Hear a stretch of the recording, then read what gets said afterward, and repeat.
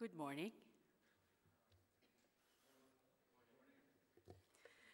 My name is Bahar Davary from the University of San Diego, and I have the easy task of chairing this session of Interfaith Issues, the Art of Bridge Building. Since we are already beginning five minutes late, I'll just quickly introduce our first speaker. Um, since we have all four speakers here, each will speak for 15 minutes. I'll give three minute notices and then one minute notices and then finish so that we have time for question and answer. Our first speaker is Patricia Madigan who was awarded her PhD in the Department of Arabic and Islamic Studies at the University of Sydney, where she is currently an honorary associate. She's the chair of the Broken Bay Catholic Diocesan Commission for Interfaith Relations in Sydney and director of the SIMR. Her talk will be on ethics in a multi faith society Christians and Muslims in dialogue.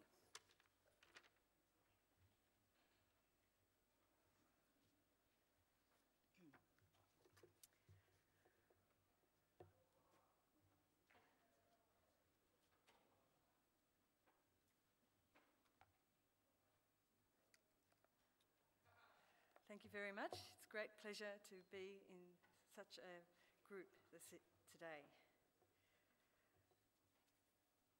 In 1993, Robert Muller, a former Deputy General Secretary of the United Nations, addressed the second meeting of the Parliament of the World's Religions with the following prophetic words Religions and spiritual traditions, the world needs you very much you, more than anyone else, have experience, wisdom, insights, and a feeling for the miracle of life, of the earth, and of the universe. After having been pushed aside in many fields of human endeavour, you must again be the lighthouse, the guides, the prophets, and messengers of the one and last mysteries of the universe and eternity. You must set up mechanisms to agree, and you must give humanity the divine or cosmic rules for our behaviour on this planet. So today I'm asking what might be the basis on which Christianity and Islam might build together some common ethical goals. Both Christianity and Islam are built on ethical foundations, each containing at its core an emphasis on ethical praxis and teaching. Points of intersection between ethical teachings of Islam and Christianity might be understood to include A, the ethical impulse, which is found in both the Gospel and in the Quran, B, the exemplars of each religion, Jesus and Muhammad, C, the development of a philosophical, theological tradition of ethical teaching in each religion, as well as D, the connections made between spirituality and ethics in each religion. It is significant that both Christianity and Islam have, in the course of their long histories, developed complex ethical theories based on philosophical principles which connect at important points, such as their emphasis on natural law and principles which can be discerned by human reason as a framework for religiously motivated virtue. For the purpose of today's discussion, perhaps one of the most significant of developments was the emergence in the medieval world of Islamic uh, and Arabic culture, a great tradition of Aristotelian Platonic political philosophy, through such, leadings, uh, such leading thinkers as Al-Farabi, followed by a tradition whose brightest stars were Avicenna, Ibn Tufayl, Averroes, and Maimonides.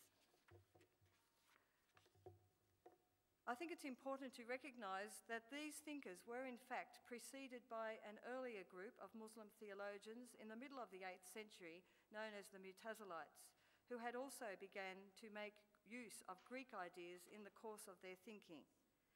Although their stance on human responsibility and the freedom of human will was eventually decided against by the Muslim community of that time, they did come to be judged heretical on completely other grounds. The significance of the contribution made by the short lived Mutazilites to the intellectual life of Islam lies in the fact that they were the original postulators, as early as the 9th century, of a rational discipline of speculative or philosophical theolo- theology in Islam, which has the potential to take on a new relevance today. Taking a closer look at the theological, philosophical traditions shared by Christianity and Islam, we can acknowledge their time bound character. For example, the Augustinian approach to ethics reflects Augustine's concern to relate the Platonic ideas which were current in his time to Catholic orthodoxy, and therefore to render Christianity more intellectually accessible to his contemporaries.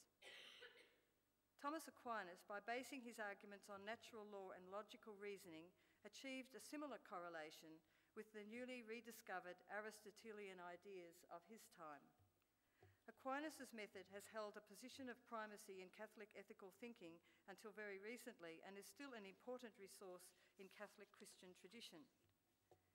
When Greek philosophy, especially the works of Plato and Aristotle, were introduced to the Muslim world from the mid-century, mid-8th century onwards, they were translated into Arabic by Syriac Christians and then later reintroduced to the West in the 12th and 13th century with the assistance of Muslim and Jewish scholars.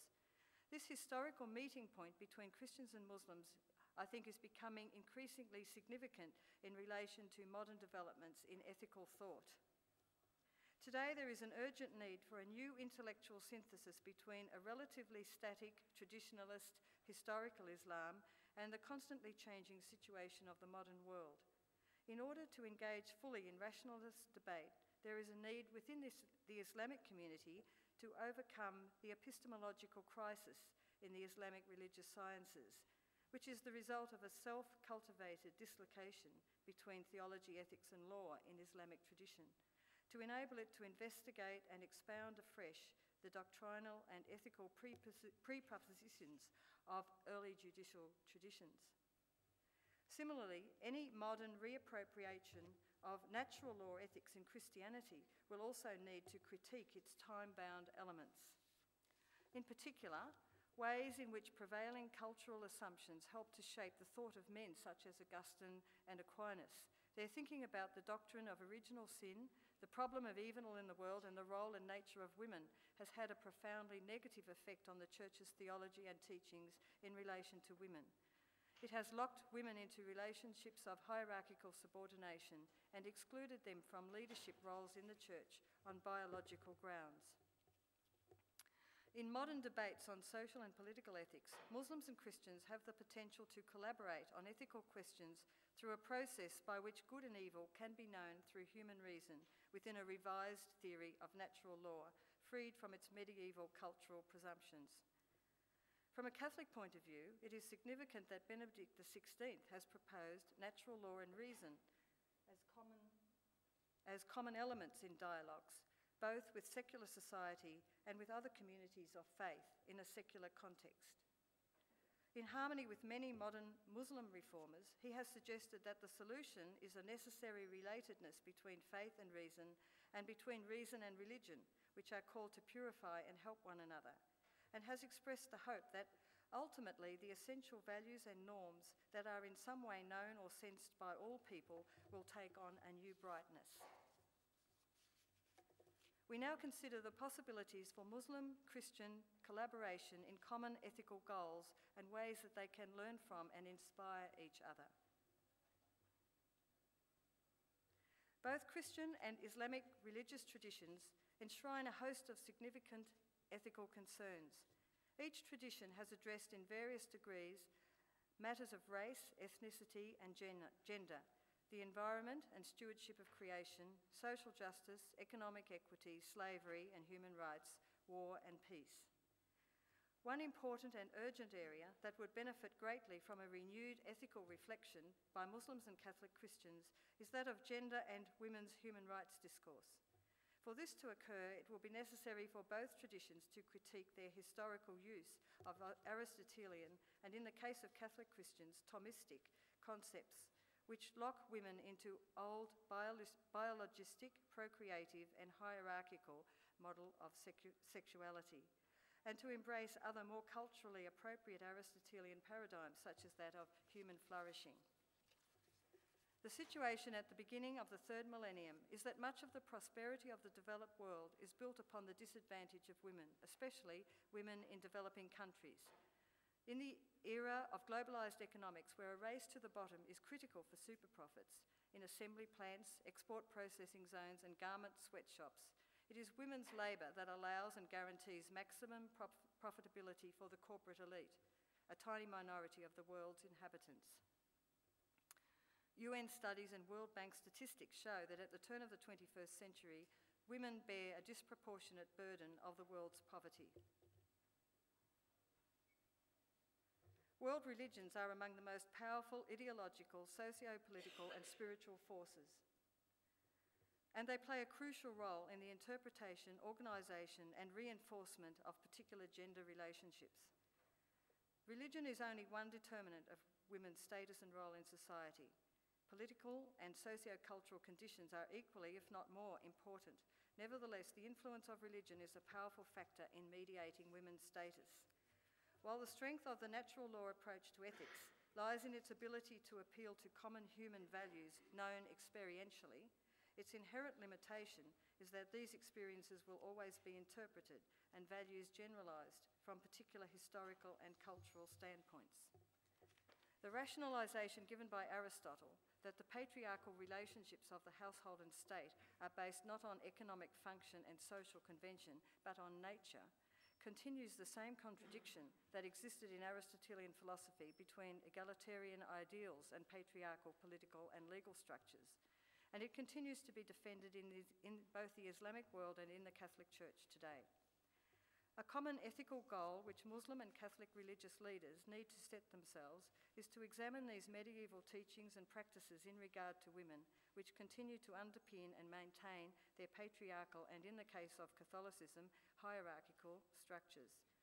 This is not an unattainable or impractical goal, since Aristotelian and Thomistic scholars generally agree that the principles for the necessary revision are all available in Aquinas' account of human freedom and equality notwithstanding its historical conditioning.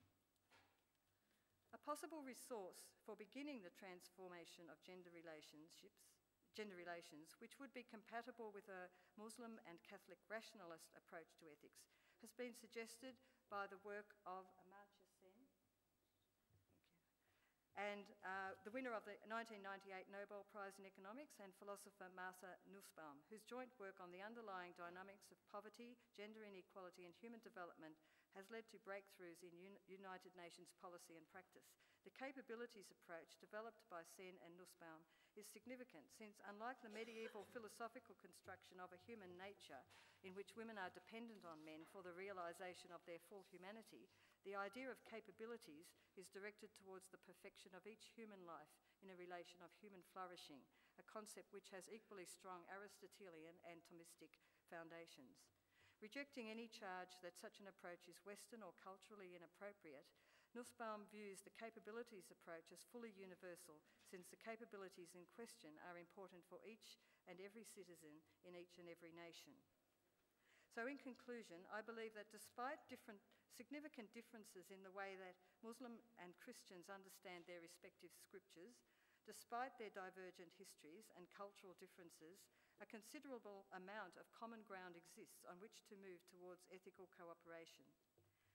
One area urgently in need of reappraisal in both, both traditions is the philosophical theological basis of each religion's ethical teachings on women and gender relations. If Muslims and Catholics are to make a meaningful contribution to ethical debate in the contemporary global community, Muslims need to reconnect the early ethical impulse of the Quran from its entrapment in legal rulings frozen in time and to rediscover their rationalist ethical tradition, which, although it has been marginalised in the course of history, nevertheless is firmly rooted in the Quran and is an integral part of Islamic theological tradition. Both Muslims and Catholic Christians need to rescue their understanding of natural law from its 12th century cultural conditioning and align it with modern developments in human psychology, sociology, and anthropology. Concepts such as unchanging human nature need to be superseded by human flourishing as an ethical ideal. Although there will almost certainly still remain differences of opinion about particular ethical issues in our very complex modern societies, These differences may not be between Muslims and Christians so much as differences within each religious community regarding, for example, the interpretation of scripture between philosophical thought streams, different scientific and other worldviews, and human experience.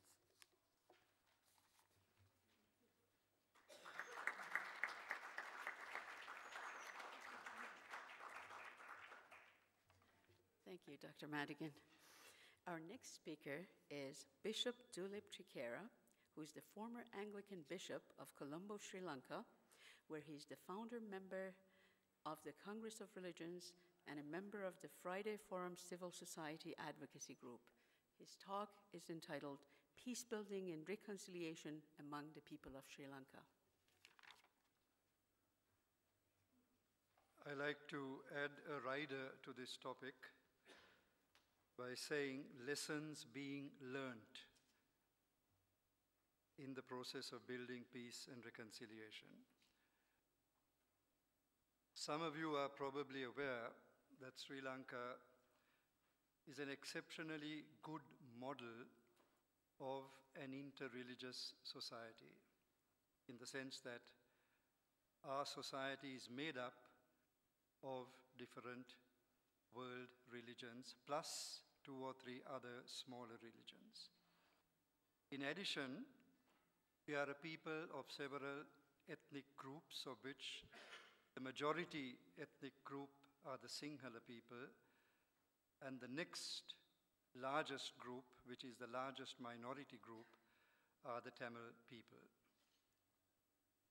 There was a time when Sri Lanka was referred to as the pearl of the Indian Ocean.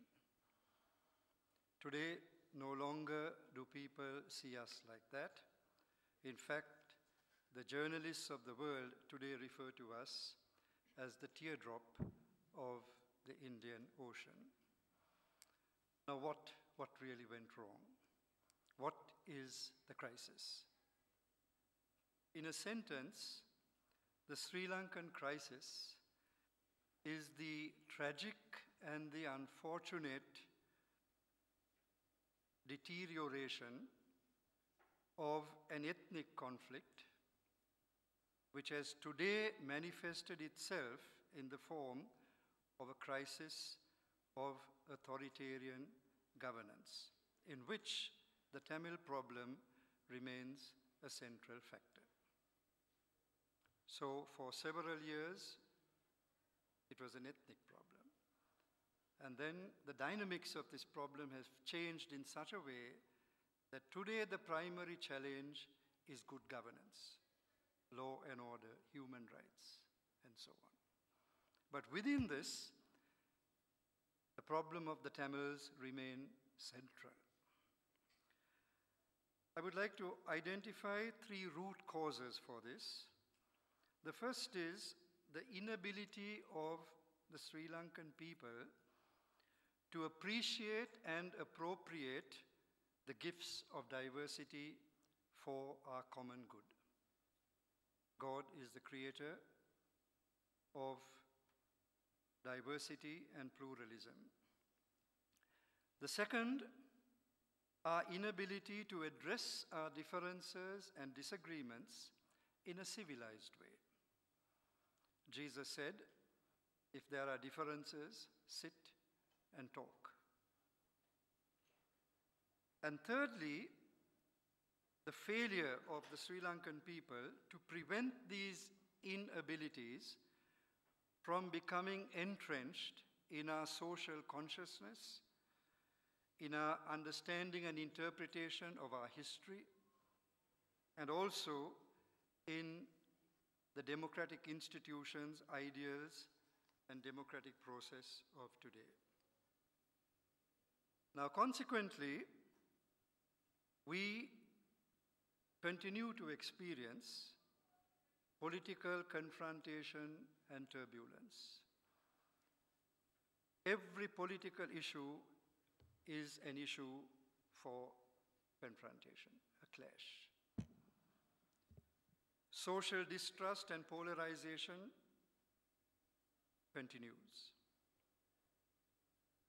Violence and violations, both visible and structural, with immense suffering, involving death and killings and a destruction of the economy, is another very serious consequence. And then, over the last few years, since the war came to an end in May 2009, an unprecedented global interest, which is now becoming a global scrutiny and bordering on diplomatic intervention in the affairs of Sri Lanka. Some of you may be aware that in March this year, the UN Human Rights Council adopted a resolution on Sri Lanka asking the government to implement the recommendations of a presidential commission and also suggesting that Sri Lanka goes a little beyond that and addresses violations in international law. Now, what is the way forward? I'm aware that we are at an interfaith seminar, so I shall be concentrating on what the various religions in Sri Lanka ought to be attempting to do together. But before that, I need to flag the task ahead in a nutshell, because it's not possible to talk about interfaith engagement until you see the big picture. So, what are the major issues that need to be addressed? And I'll give this to you uh, in a word. There must be economic justice.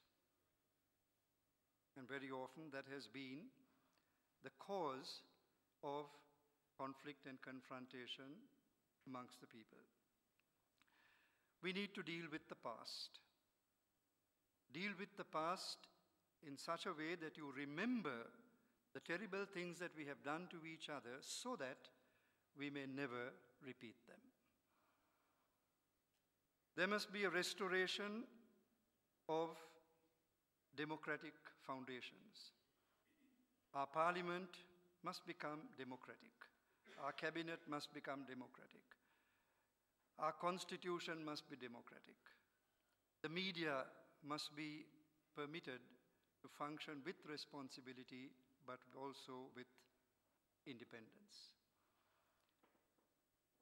There must also be a dismantling of the instruments and symbols of force, militarization, as a problem solving method. The war is over, but there is a threatening presence of the military in all parts of the country.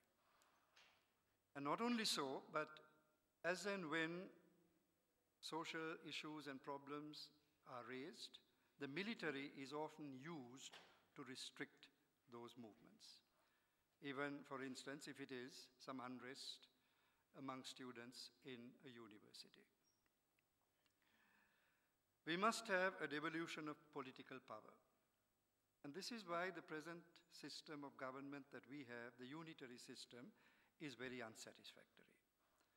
Because even if there are constitutional changes in a unitary system of government, what the center gives today, the center can withdraw tomorrow.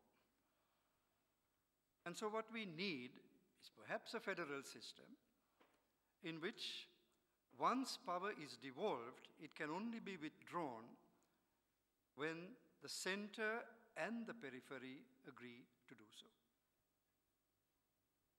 There must also be a strengthening of civil society. Much of the voices and the forces and the advocacy has been reduced and suppressed. Civil society must be permitted to play its role in a modern democratic state. And finally, there must be a quest for global justice. You see, you can't look at the Sri Lankan problem apart from geopolitics. You can't look at the Sri Lankan problem apart from global injustice. And let me just give you one example. Some of you may be aware of the atrocity crimes that are identified under responsibility to protect, which is a recent UN doctrine. war crimes, crimes against humanity, ethnic cleansing, and so on. Now, there are some of us who feel that the manufacture and transaction in arms of destruction must also be made an atrocity crime. Now, these are some of the areas of global justice that the Sri Lankan polity is concerned about. Now, having flagged those areas, I would like to spend the rest of this presentation talking about the rationale and the agenda for interfaith engagement. We have in Sri Lanka, like you have in India and in other parts of the world, a dialogue which is referred to as living dialogue.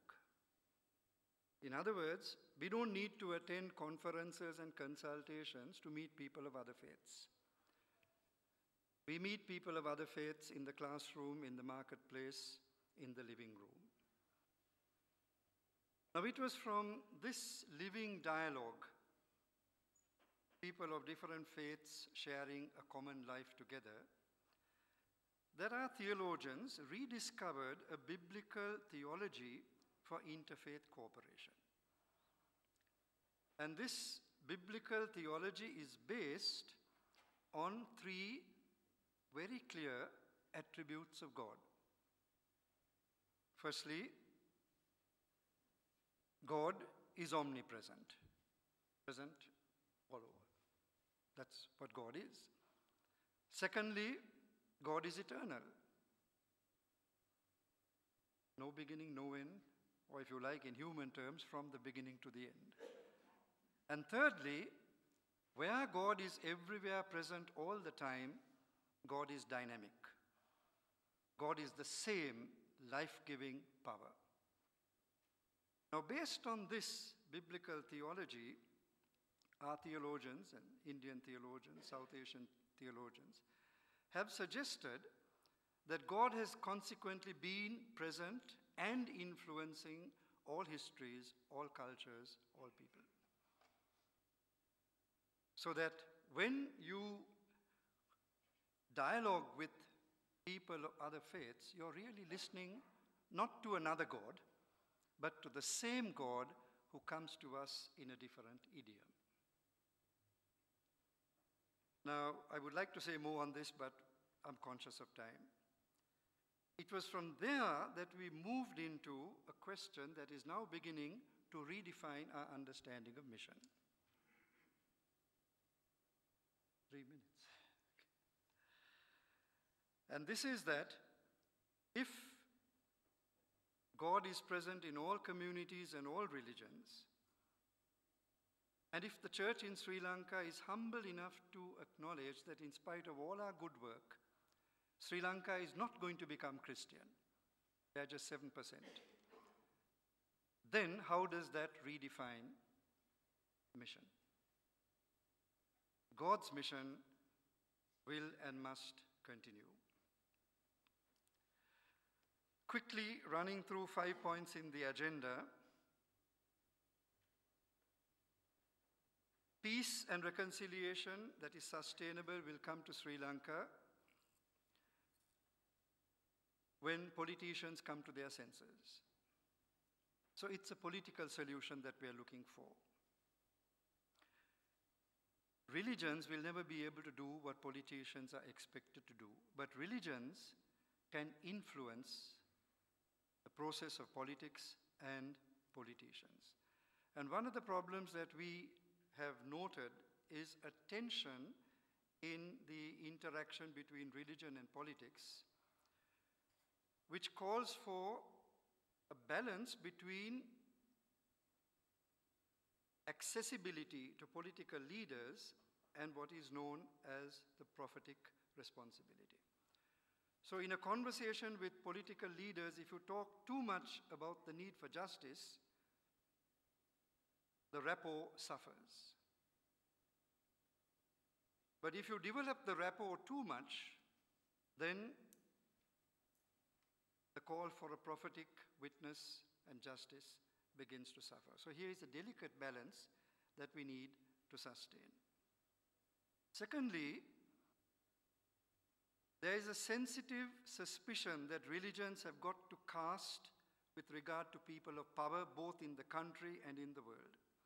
We are afraid that one day soon, because Sri Lanka has discovered oil off its northeastern coast, that there will be a deal between the people of power in the globe and in Sri Lanka. And then the vulnerable will be neglected.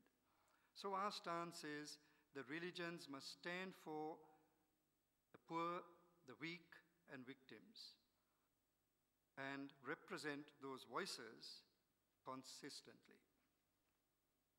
We're also looking at a concept of healing justice, which is different to retributive justice, because that gives hardly any chance to the perpetrator, but also that questions what is known as restorative justice, because that's a little thin and weak on the position of victims. Healing justice will be victim centered, but violator inclusive. How would you develop that? This sounds nice, but there will be resistance. This sounds nice, and change will take a long time. What is the Christian, what is the religious response to this? And the only thing we can offer is that people of religion and disciples of Christ are called to strive. That is the primary and the lasting characteristic of a disciple of Jesus. We don't give up. You strive. You have a vision and you work towards this. The Christian understanding of history is linear. The Buddhist understanding of history is cyclic. But we are now in a conversation as to how these two can meet. The Buddhists want to see something linear. The Christians discover that a lot of history keeps repeating. So we're now talking of a cyclo-linear understanding of history. You move round and round, much of it is repeated, but you're moving towards that eschatological hope. Finally, and then I finish, how do you deal with the enemy. In the words of Archbishop Rowan Williams, stay with the enemy till there is a blessing. Thank you.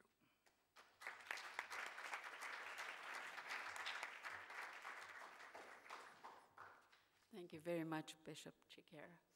Our next speaker is Dr. Susie Babka, Assistant Professor in the Department of Theology and Religious Studies at the University of San Diego.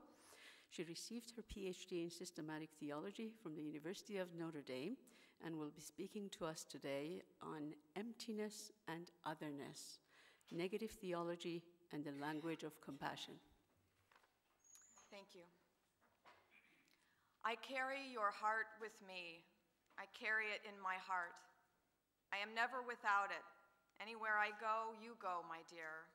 And whatever is done by only me is your doing, my darling. Here is the deepest secret nobody knows. Here is the root of the root, and the bud of the bud, and the sky of the sky of a tree called life, which grows higher than soul can hope or mind can hide. And this is the wonder that's keeping the stars apart. E. E. Cummings' poem is both about emptiness, the wonder that's keeping the stars apart, and compassion. Anywhere I go, you go, and whatever is done by only me is your doing, such that the space between the stars puts the stars in relation to each other. They can never be what they are in isolation. This is the deepest secret nobody knows, the root of the root and the bud of the bud, that no thing finds existence in itself in isolation or independently, but in what is other than itself.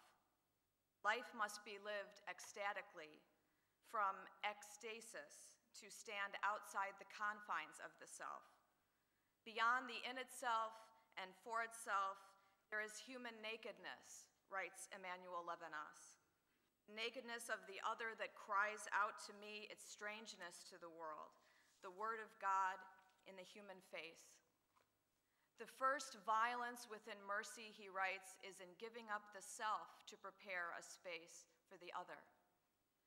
We can explore affinities between kenosis, meaning self emptying, in the Christian and Jewish traditions, and shunyata, which in Mahayana Buddhism refers to emptiness, without assuming or expecting strict agreement to engage in what Masao Abe called a mutual transformation of traditions within a community of discourse. Masao Abe was trained in the Kyoto School of Japanese philosophy, which worked to make Buddhism intelligible to the West. He believed that dialogue with Christianity not only prompts self critique, but also a shared interest to respond to growing secularity in both Eastern and Western societies. The goal is not a unified religion, but a depth of spirituality from which religious traditions can emerge as mutually supportive, responding together to crises of justice. Apophatic theology, or theology of negation, is an important entry point to considering what is mutually transformative about the principles of kenosis, shunyata, and otherness. Negation has affinities in nearly every religious tradition.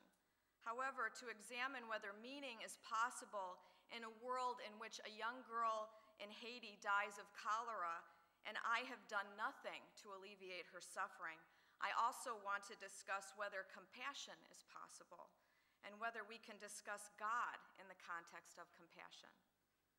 Discourse about God is rendered mute by catastrophic suffering. The wars, genocide, famine, AIDS epidemic, and cholera in Haiti make it impossible to discuss God as though there were a purpose or a plan for this. Discourse about God from the trenches of the world's poverty and pain cannot be conducted with the same rules with which we determine train schedules and mortgage payments. Toward this end, the way of negation moves toward emptiness, shunyata in the Mahayana Buddhism of Masao Abe, and kenosis is explained by Emmanuel Levinas. Discourse about God must have different presuppositions and play different games, as Ludwig Wittgenstein cautions. But Wittgenstein also said about that which we can say nothing, let us be silent. And here I am gabbing on and on about it, and will continue to gab for the next 10 minutes or so. Catastrophic suffering renders theology mute because it raises the possibility of a world without meaning. For those of us who desire meaning in a senseless world, the excess of suffering changes the landscape of the theological game, but it doesn't prevent us from playing. In this respect, discourse about God benefits from a willingness to enter into dialogue with religious traditions that are not my own, so that I can at least negotiate the boundaries of the games within my own religion, lest I become guilty of confining God to one paradigm. The Christian paradigm with which I am most familiar often responds to catastrophic suffering as an opportunity for redemption, such that the cross of Christ or the tears of a child suffering from cholera shows us humanity blossoming, blossoming in extreme conditions, which Theodore Adorno calls a dreary metaphysics that affirms the horror by virtue of the notion that the authenticity of the human being is manifested there. It is a dreary metaphysics indeed when Christians move the cross from a place of abject horror to a place of triumph, or worse, necessity. Such does not critique the conditions in which a child dies every three seconds of malnutrition, violence, and preventable disease. If God is merely sympathetic to this suffering but does not somehow contradict what Adorno called the officially optimistic society that led to it, if God is the idol of humankind's history of success, then catastrophic suffering will continue to be defensible as an unfortunate side effect of the progression of the divine plan. Dissatisfaction with such dreary metaphysics as these calls Christians to destroy the idols of this language, as Buddhism wishes to destroy the idol of the self, the first step of which is negation. Speaking about God in the face of catastrophic suffering requires that Christians negate in shunyata the concept within a substance ontology of a creator separate from the world, who creates the world as an afterthought and so is ontologically distant from the world. Most substance oriented discourse about God places God squarely within the horizon of, of objectif objectification. God has existence, God caused the hurricane, God is loving or powerful or sees everything that we do. Reason and logic, better suited for the observable world of cause and effect, are not the way to a divine reality understood as beyond both existence and non existence, as apprehended by the senses in a material world. Hence, we cannot think about God in ways that we think about what we had for lunch. God is not an object among other objects or entities in our daily lives. The question here is whether Christians are prepared to negate a substance ontology in order to open itself to the sort of transformation that will make it more effective in responding to the crises of injustice in the world. Shunyata eclipses a substance ontology by accessing things in their suchness, their alterity, when we make an effort to stand in the same mode of being as the other. This is the non distinct realization of emptiness and non emptiness, a dynamic emptiness of all finite meanings. Shunyata is not nihil, a dead nothing opposed to being. It is not a position which denies, but the negation of any position at all. No center, no authority, but rather dependent co origination. Abe notes that in a coming both affirmation and negation, a complete emptiness is opened up. This is a positionless position, a standpoint free from any standpoint, free from all human presuppositions and conceptualizations. Even the linguistic designation shunyata must not be absolute. Abe writes, quote, Shunyata is fundamentally shunyata under erasure. True shunyata empties itself as well as everything else. Through its self emptying, it makes everything exist and work as it does. As dependent co origination, shunyata articulates that all entities or things lack independent existence at the deepest level. The beingness of anything is so only within the total network of whatever had a possible relationship to it. There is no apple without the rain, the sun, the sun and the earth which helped it grow, the harvesters who gathered it, the truckers who brought it to the market, and those who recognize, from the aphids to me that it is good to eat. The existence of things and events is entirely contingent and interdependent, but empty of any center of authority. Another example of this is the interdependency of human beings imprinted on us at the biological and genetic level. Anyone who lived 1600 years ago, who had children, and whose children had children, is likely to be your ancestor. Because of human migrations and mating, the DNA in our cells consists of bits of DNA from thousands of people's cells a millennium ago. Even if a disaster wiped out the entire human race except in Asia, the human race would still retain 94% of its genetic variation. Human beings are related to each other in ways our conscious awareness rarely addresses. Despite the subsequent cultural conflicts based on our visible differences, our bodies possess the wisdom of interrelatedness, not sameness, in the depths of our DNA. As genetically in relationship, the entire human race is empty of a center of authority. This is echoed in the Buddhist philosopher Nagarjuna's teaching that on the conventional or physical level, the world is not illusory. It is real in that we experience it. Acorns become oak trees. The sun rises in the east. Gravity pulls things to earth. But from the perspective of what is ultimate, Nagarjuna said that things and events do not possess existence for themselves.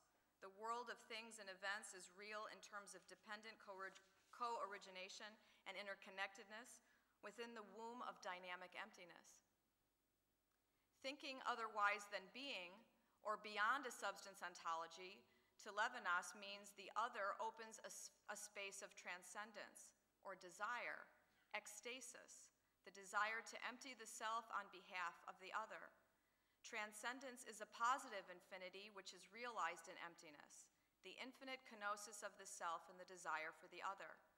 Derrida observes that the space opened by Levinas's understanding of encounter with the other what E. E. Cummings might name as the wonder that's keeping the stars apart, or what the Kabbalists thought of as tzimtzum, is a positive infinity.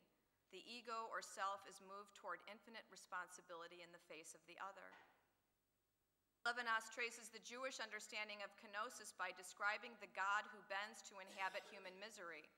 In Psalm 147, God who heals the brokenhearted and binds their wounds also counts the number of the stars and gives them all their names writes Levinas, there is an inseparable bond between God's descent and God's elevation. Wherever we find the power of the Holy One, we find God's humility, the proximity of God to human suffering. The space that God opens for us while honoring our alterity as creatures also subordinates God's infinite being to the human. In the emptiness of divine openness to the other, located within the order of action and work at the level of matter, everything depends on the human, even the outpouring of God. God's self emptying makes a space for human being to ensure the holiness in the other than myself such that we are answerable for the holiness of the universe. This responsibility is found in the microcosm of human relationship, as well as in the macrocosm of the interaction of humanity with the plurality of worlds. The meaning of being is responsibility for the other, which is an infinite responsibility originating from God's kenosis. In conclusion, alterity engenders compassion. The enlightened one returns to the world of samsara because to be enlightened is to be compassionate. Do not abide in nirvana. Writes Levinas, quote, being is through ethics and the human. Humanity is responsible for the universe. Humanity makes and unmakes worlds, elevates and lowers them. God's reign depends on me. God has subordinated subordinated God's efficacy, God's association with the real and the very presence of the real to my merit or demerit. God's reign, God reigns only by the intermediary of an ethical order, an order in which one being is answerable for another.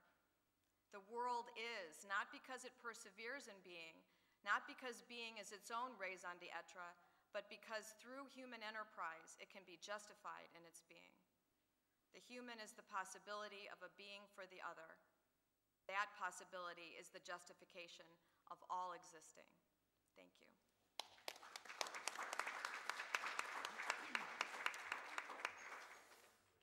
Thank you, Susie.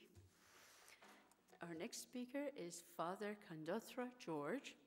He's a professor of systematic and patristic theology at the Orthodox Theological Seminary in Kerala, India. Father George has studied theology in India, Louvain, and Paris, and he'll be talking to us on inventing a new time and space for our common dwelling. Dear friends, accepting the imprisonment of 15 minutes, I will make seven brief points. And what I'm going to say uh, will have implications for interfaith relations, not directly, but indirectly. Um, I'm going to speak about space and time. Um, my first point is about ecumenism. The old word oikumene, or the whole inhabited world as it is translated, has crucial implications for our general theme of common dwelling. The idea of oikumene was an ancient attempt to conceive of a single human community living together in one single world. The idea, however, had political and cultural assumptions that went against the grain of the very notion of one humanity and one world. Uh, politically, oikumene was a synonym of the old Roman Empire Culturally, it excluded all those peoples of the world who lived outside the frontiers of the Roman Empire and did not recognize them as civilized human beings. Because these peoples did not share in the uh, Greco Roman uh, culture. So, looking at it from the perspective uh, today, uh, there was no common dwelling nor any one world or one humanity coming out of the concept of ecumeny. Secondly, the political cultural demon of the old Roman ecumeny continued to haunt the modern world through colonial missionary movement, through the notion of unending progress as seen in science and technology, and through neo-colonial economic structures attempting to globalize a world of immense natural diversity. The Christian churches in the West made a great effort in the 20th century to exorcise the old ecumeny of its imperialistic and exclusivistic demon and to interpret it in more charitable and humane ways through the modern ecumenical movement.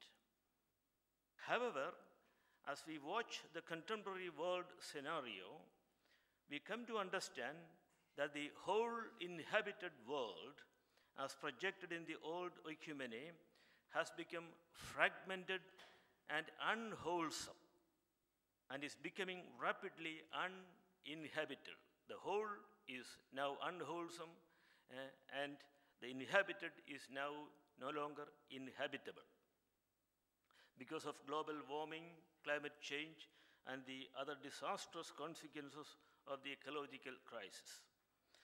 Hence, the urgent need for reconceiving the old ecumeny.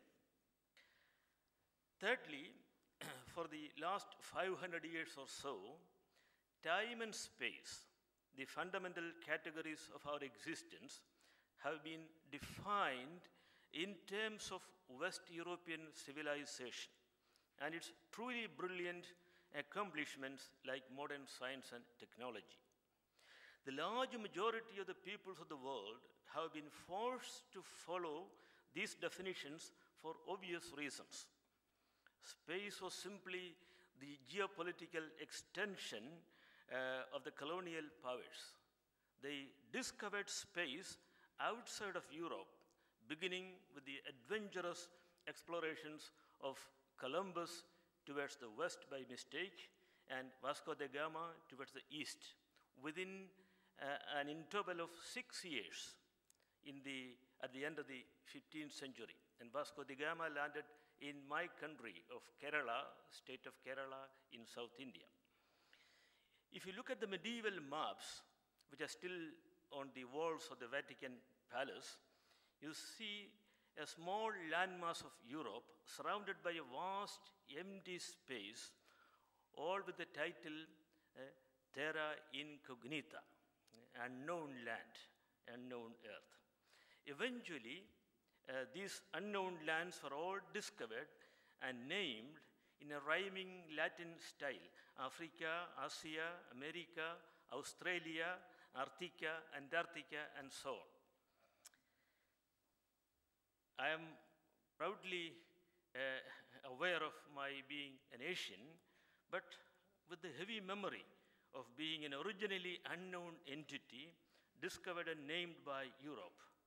My identity and the identity of my dwelling place ha had been defined for me centuries ago by an alien uh, cultural mindset.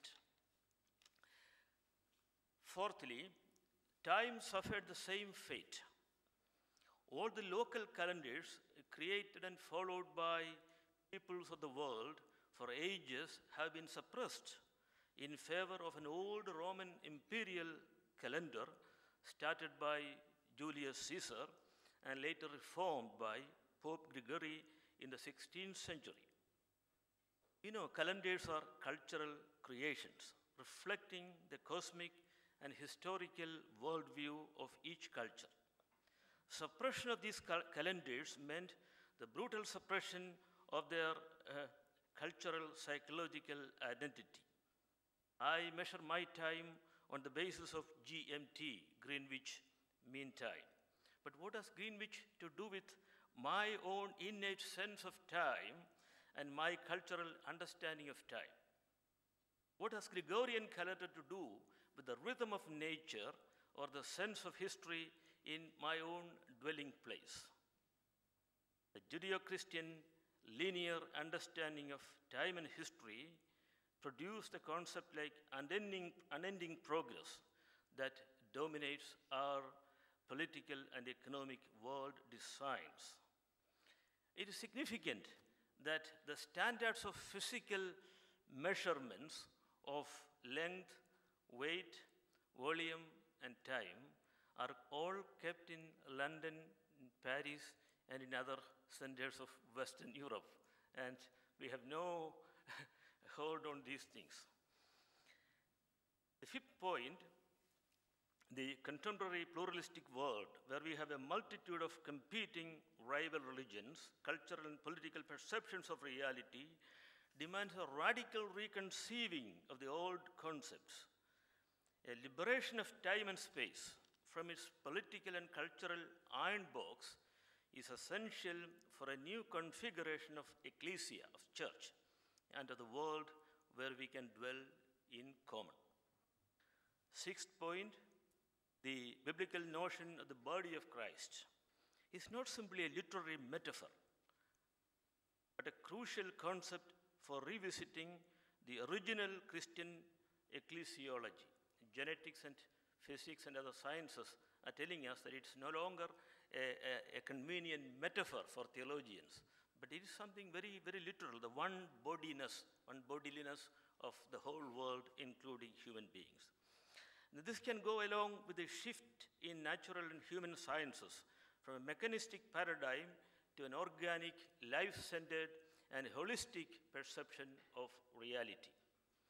Body of Christ is precisely embodying this holistic and life affirming quality essential for a true Christian understanding. Unity, holiness, Catholicity, and apostolicity of the church need to be reappropriated in terms of a new vision of the world within a new frame of space and time, the new wineskin, I would say.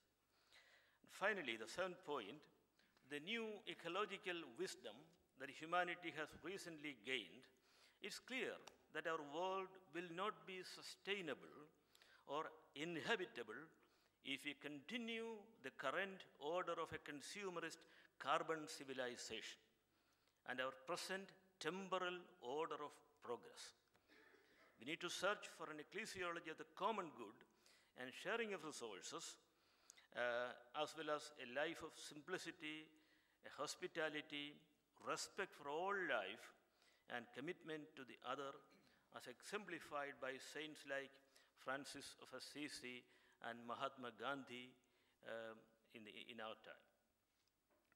The ancient Eastern perception, Hindu, Buddhist, Taoist, the Eastern perception that space and time are creations of human consciousness, together with the Christian commitment to the transfiguration of the world, can create a new order of space and time where we can dwell together in justice and peace.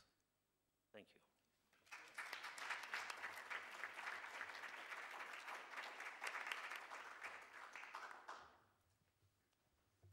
Thank you, Father George, and everyone on the panel. We have about 30 minutes for question and answer, and a microphone here that I hope it works.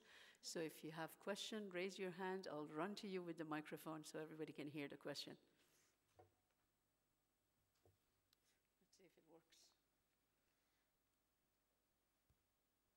Yeah? Can you hear me? Yes? Okay. Questions? Feel like a showman. Show woman. Oprah.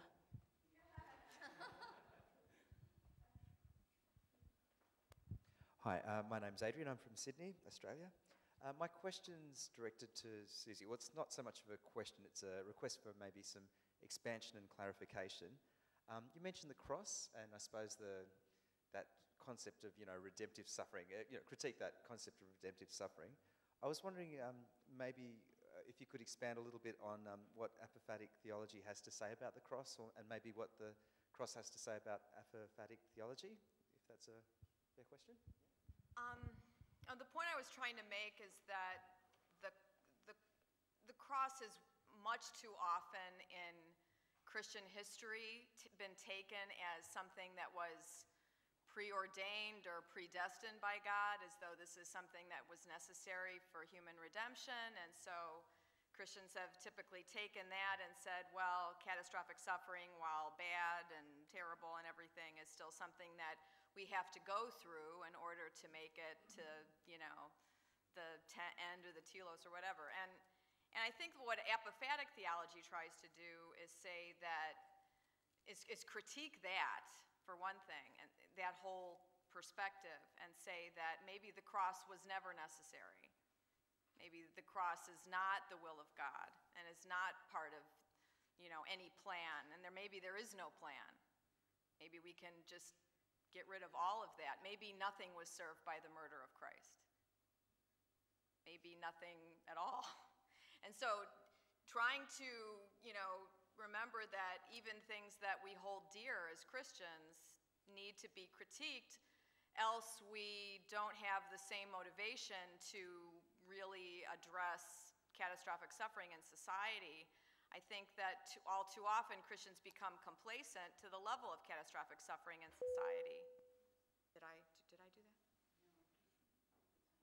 Oh. Does that help? For me, it raises more questions. Okay. Yeah, you just press the button, the, the green button. No, the green button. Yeah, there you go.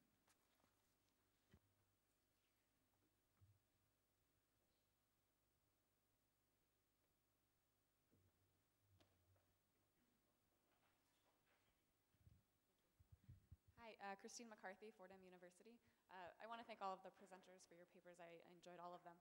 Um, I wanted to, this isn't really a question as much as it is um, a comment um, to, uh, to Dr. Madigan. And I, I, I walked in halfway through your paper, so I missed the beginning. And so um, I'm not sure how much this is part of your, a larger project that you have, but I, I feel a great sympathy for the work that you do and have done work previously on, um, on uh, Sen and Nussbaum's capabilities um, in terms of whether how they whether and how they can be applied um, to to religious um, groups and groups of faith.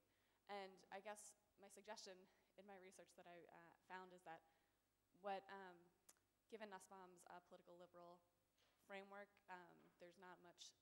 She protects the right to um, to have a religious practice, but um, I think at least in terms of interfaith dialogue, I we can sort of understand capabilities, um, not just in terms of an active uh, capability to do something, but and I think, and this is in a way that dovetails a bit nicely with Dr. Babka's presentation, um, that we can understand um, a possibility for like a capax dei, an openness, a receptivity that one does not have to necessarily participate in it, so you can sort of preserve some uh, space for a universal um, framework, but that there is um, you don't have to call it a capax dei, but it's sort of a, a I don't know, a capax to an openness in some way um, that preserves the other. That's my only, um, something that just came to mind to me. I don't know how, how that functions for you in your work, but I think at least in terms of, especially uh, Christian Muslim uh, dialogue, and Islam is a religion which, um, you know, negative, the apophatic, saying that there's no God but God, um, the ability to name God in a way I think is um, important. I don't know if that makes sense, but oh, do I to- oh, well, um, were you were you able to hear me, Dr. Madigan, or Just wondering, what, what exactly is the question? it wasn't a question. Aye, it was, it wasn't a question in the first place. It was just a suggestion for further um, research, which is to say that um, in addition to sort of adopting uh, Nussbaum's capabilities framework, which is essentially um, not one that takes into that um, it protects religious belonging and religious practice, but what I was suggesting in terms of further interfaith dialogue is to understand not only uh, capability in terms of an active doing, but to maybe also create a space for understanding capability as a capacity towards openness. And I saw this a- as a way of dovetailing with Dr. Babka's presentation on compassion to the other and openness to the other. Does this make sense? No. Yeah, I, I agree. Uh, I think what, most of what you'd said I, I agree with. Um, I, I think she offers, a, what I see her offering is a framework that actually there's a lot of space for self-determination within that framework. So you, you, know, so you say she works in a liberal framework. Um, in some ways she does, but she also allows people, uh, people who want to live in a conser- more conservative traditional framework ha- have that freedom within, that's how I understand what, her, what she's saying, that people who want to live in a um, more traditional, perhaps um, uh, re- and religious and conservative lifestyle, they should have that same freedom, but not to stop other women who don't want to live in that particular environment or space to not to stop them from moving. That's how I see it. So that um, I think she what I see her offering is a framework in which people can find women and uh, people generally can find their own identities within that framework. Peter Phan, uh, Georgetown University. Thank you, Father George. A splendid, short, very clear. Uh, uh, I'd just like to pick up one item that you mentioned, the calendar. How the Western calendar determined Jews and then Gregory. But we do have many different calendars. With the Jewish tradition, from the very beginning creation of the world, you have the Muslim calendar with the Hajira. We have the Buddhist calendar, and there's also the Chinese calendar. All different people sign the date of the year very differently, and not simply with the Western. But your point is well taken. But what I like to do is this that even within the Christian calendar, between the Orthodox and Roman Catholic, there are huge debate and fighting about the date of Easter, for instance. So you have all kind of calendar going on at the same time. Uh, my question to you is, living in these multiple calendars, how do you suggest people interacting in interreligious way of life from the Jewish, the Islam, the Muslims, the Christians, and even between the Orthodox and the Catholic? Yes, uh, thank you um, for that. Yes, we still live with uh, different calendars. I have my friend, Dr. Cherenipan, coming from Moscow. He's an Indian Christian, so he has celebrated two Easters this year, one, one after the other. So, but it's okay. We live with that. But why can't we Christians come to an agreement on one Easter date? There is no great theology involved in that. It's simply a question of uh, mutual understanding uh, and agreement. But we are not, the World Council of Churches, I know, uh, has made tremendous efforts to bring all Christians uh, to one, one, one Easter, but it has not been successful. Um, in India, um, I know the, the, the millennium, turn of the millennium, uh, it was certainly an affirmation of the Gregorian calendar as well. Uh, and then in my country, uh, several new calen- old calendars were revived, revived by radical uh, Hindus, uh, communalist Hindus, uh, because they thought this suppression of their calendars was a sort of suppression of their own identity and culture. So there is a point in that, well, for practical reasons, we have to agree on certain common dates, but uh, without cultural assumptions, uh, without being, uh, uh, you know, loading it with uh, some of the superiority assumptions, probably that would be possible. Uh, Peter Admirand, Mater Dei Institute in Dublin. Uh, Susie, I'm just curious about how you would define or assess theodicy, just in light of what you said. And you know, Levinas was brought up, and whether you'd agree with obviously his more or less anti-theodic stance.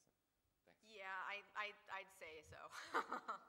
I don't think theodicy serves um, much of a purpose because theodicy serves to justify the existence of suffering in the world on some level. And I, I mean, while some suffering may be educative and, and valuable in that sense, I think that what, what I tried to express, obviously we're dealing with a short amount of time, is not so much ed- educative suffering, which always has an inbuilt purpose to it, but catastrophic suffering that is, um, it is truly hard to see um, in the excess of suffering in the world, whether it's you know, uh, Haiti with its multi-layered series of problems from natural disasters to colonialism, you know, decades of that, dealing with the after effects of that, to now cholera.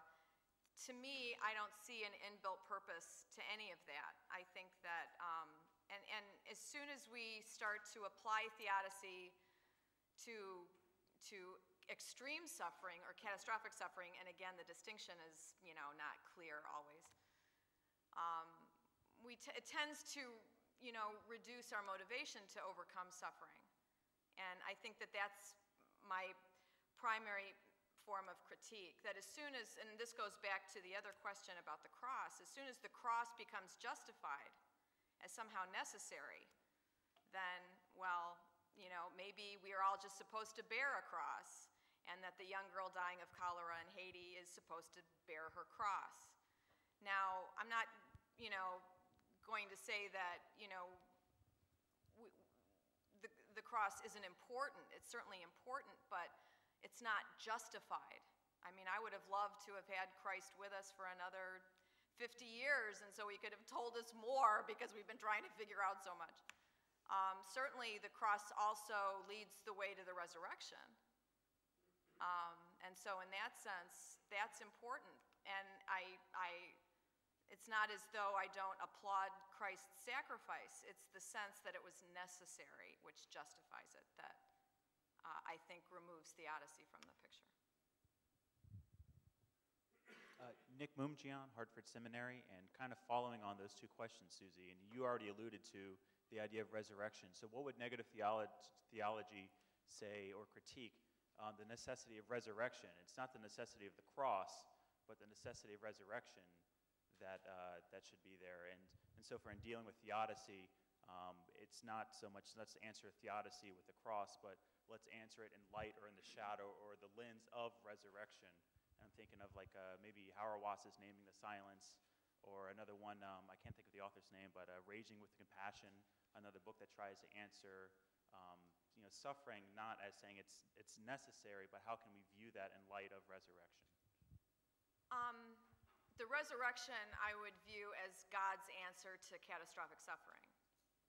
That um, whatever resurrection is, however we talk about it, the only way to you know, the only direction to, you know, kind of go in order to avoid justifying suffering is to say that God answers, you know, this with, you know, with the promise of life or the promise that um, our efforts to end suffering are, you know, not in vain.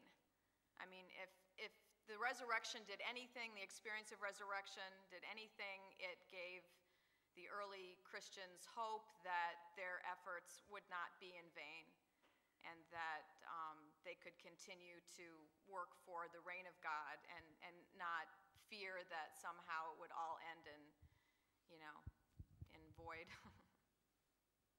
Does that help? I am uh, George Worgul from Duquesne in Pittsburgh, and this is for the bishop. I'm, uh, Bishop, I wonder if uh, you would be willing to go a little further. I, would like to know what you think about something. Because in, if I understood you correctly, in your paper you said that in the living and being together, uh, the different religious uh, perspectives learn from each other. Would you be willing to say that God has willed the different religions so that they could truly be sacraments to each other. And therefore, no religion can claim that it has the definitive possession of God's revelation. But only in being faithful to God do we then come to see that, yes, we're not sacraments for them, but we're their sacraments to us. And so mission doesn't have to do with going out. Mission has to do with welcoming those who come in.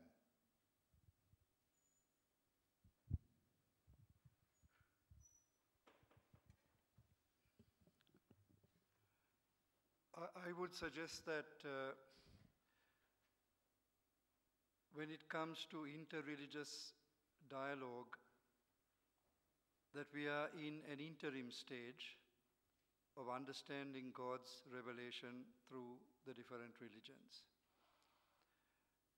In other words, we are all on a pilgrimage. Not only is it necessary, I think it is an expression of integrity to say that there are some questions to which we do not have answers. Having said that, I would like to refer you to this ongoing conversation within the church about the uniqueness of Christ and the cosmic Christ. Uh, those are tensions through which we need to address the question that you raised. I would say that Christ gives me the best perspective for life. That the spirituality of Christ is the presence of Christ within me that pushes me in the direction of the reign of God.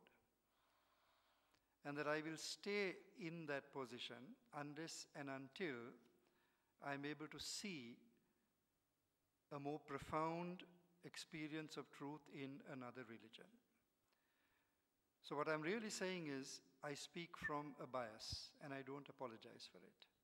But at the same time, living with people of other faiths has pushed us much, much beyond the, the historic understanding of mission which came to us from the missionaries. And uh, not only is this happening within the church in South Asia and some parts of the global south, it's also happening within other religions as well. That their perspective of other religions is also beginning to change. So that we are really wrestling with the question what is truth in revelation? As regards the question of mission, uh, I go along with Father Aloysius Pieris, who is perhaps one of the best authorities on Buddhist Christian dialogue. And his point is that the whole purpose of interreligious dialogue is for transformation within the religions that participate in the dialogue. And I can give you an example of that. Care for the creation. Uh, what we have in the Bible and in the teaching of Jesus is this much. What we have in Buddhism is this much. So, conversations between Christians and Buddhists on ecology, for instance,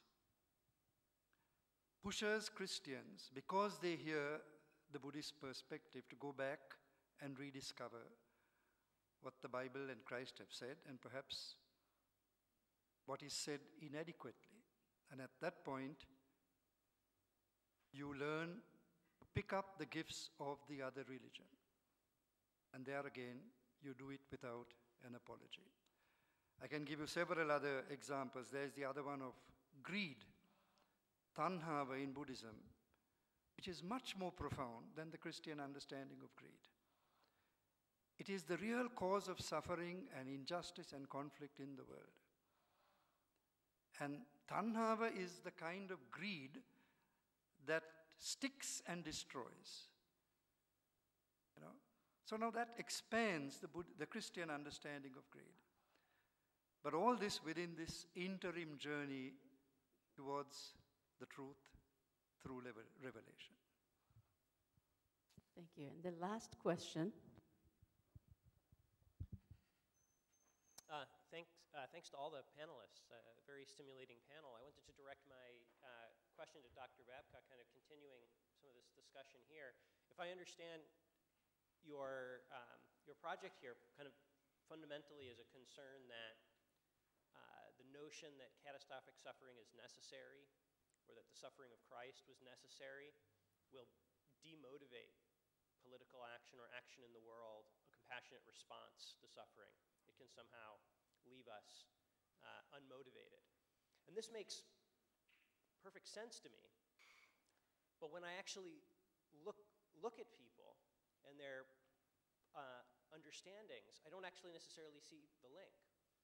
Um, and since, since you've uh, engaged this in kind of a, a Buddhist Christian conversation, I'm coming from the Jewish tradition, but one of my most profound encounters of, the, you know, of this question is is in encountering the Buddhist tradition. I have a, very dear friend of more than a decade who's a, a Tibetan Buddhist.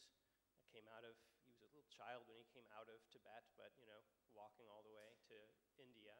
And this is, you know, part of his imagination. He's suffered greatly and uh, also become someone incredibly uh, active in the world, served in the parliament for many years, and was one of the first people to uh, bring attention to the plight of uh, uh, Tibetan cultural peoples in northern India, which the larger Tibetan community had largely ignored.